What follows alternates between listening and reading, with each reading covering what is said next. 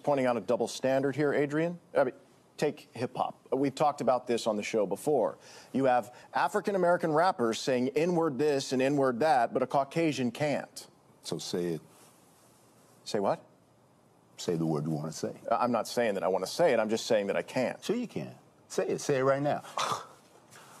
I will say it with you. Okay, this is hypocritical. You know we can't. Sure you can. This is America. Both of you. Say it.